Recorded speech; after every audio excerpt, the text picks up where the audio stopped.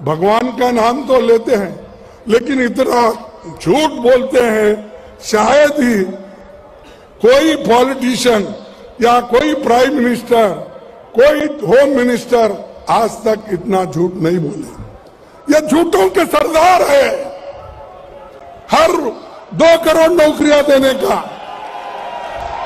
ये सच है झूठ कि उन्होंने कहा, भाई मुझे चुन के लाओ। मैं गरीब आदमी हूँ, मैं देश को बनाऊँगा।